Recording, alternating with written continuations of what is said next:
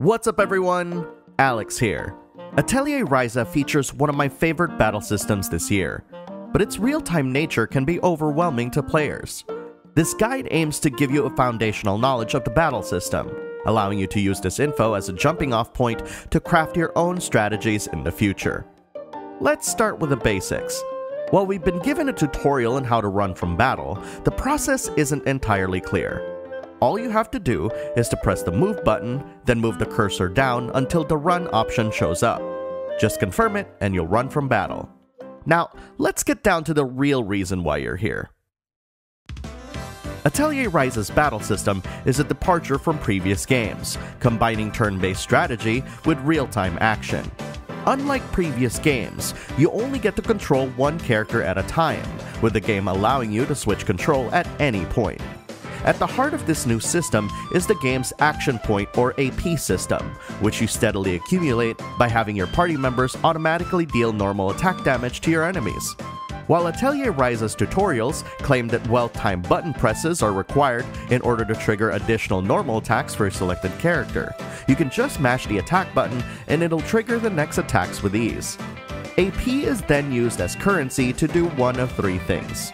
Raise your tactical level, use your skills, and enable quick actions. Let's tackle each of these one by one. Tactical level does a lot for your party.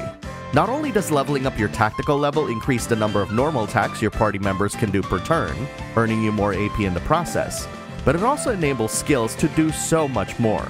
For example, Lent's Blood Thrust will grant an attack down debuff when your tactical level is at least 2, and heals you for a percentage of the damage dealt at tactical level 4 and above.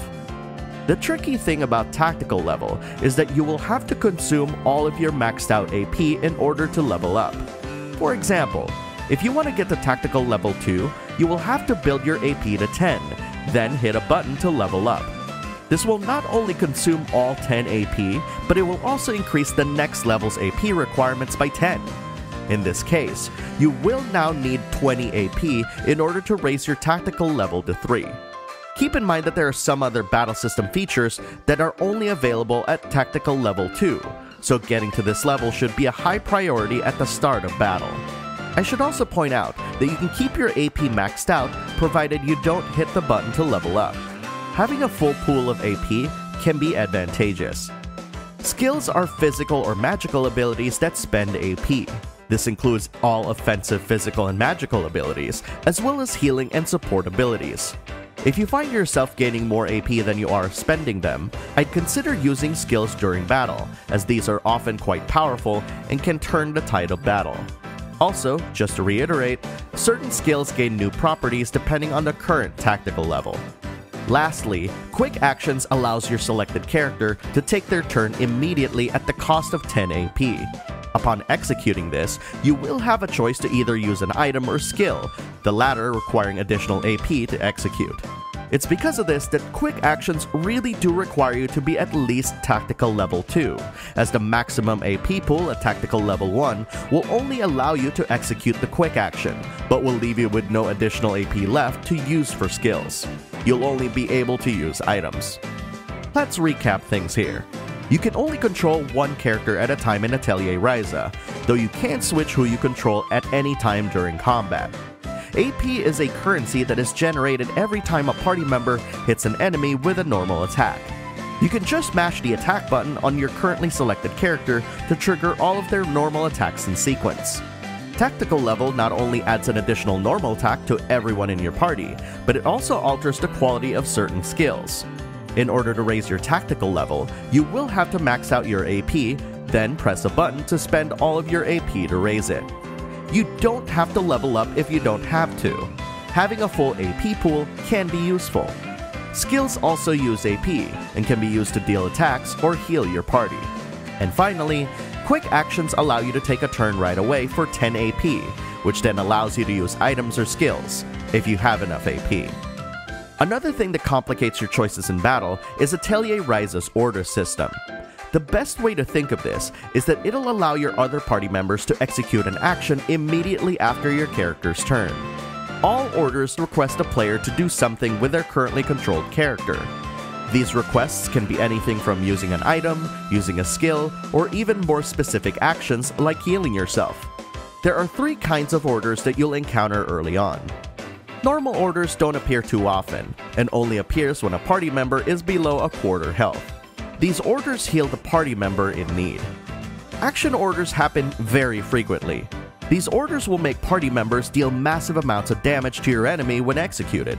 And finally, extra orders only happen when enemies are either stunned or winding up for a big attack.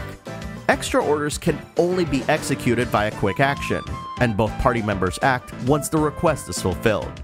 Extra orders deal even more damage to your enemies, with a really good chance of interrupting their windup or stunning them. The request is usually the execution of a skill, which means you'll need to be at least tactical level 2 to do these orders.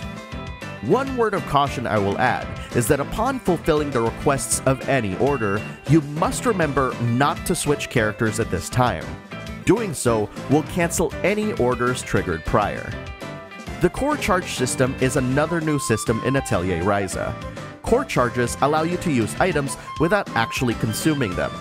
For players new to Atelier Ryza, you will need to remember to equip your party with items to bring, as you won't have access to all your items once you leave the Atelier. Unlike some other games in the series, any party member can use items, provided that they have items equipped and enough core charges to use.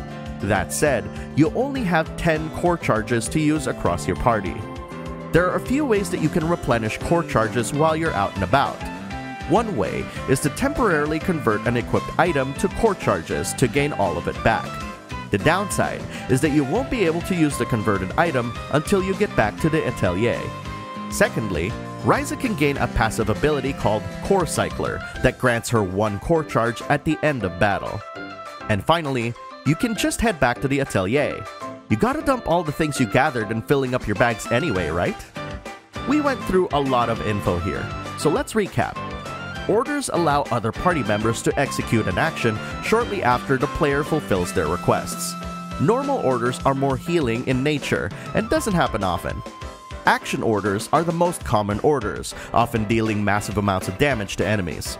Extra orders only happen when an enemy is either stunned or winding up for an attack, and can only be executed during a quick action, and often requests the execution of a skill to activate. This deals even more amounts of damage to enemies. Don't forget to equip items before leaving the atelier. Core charges allow any party member to use items. You only get 10 core charges to start with. There are three ways to replenish core charges. One way is to convert an equipped item, which gets you all 10 core charges back. Another way is to unlock Ryza's Core Cycler passive ability that grants you one core charge at the end of battle. And finally, Going back to the Atelier not only re-enables all disabled items, but also grants you 10 core charges.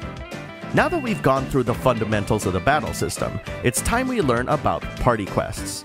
Atelier Ryza's party quests are a way for the game to encourage players to try to put everything they've learned to practice. In turn, party quests unlock new passives, abilities, and increase certain stats for each character, Remember when I said that Ryza can gain a passive that grants her a core charge at the end of every battle? This is how you can unlock that passive ability. Ultimately, the key to victory in Atelier Ryza is knowing when to use your AP to increase your tactical level versus doing anything else that uses AP.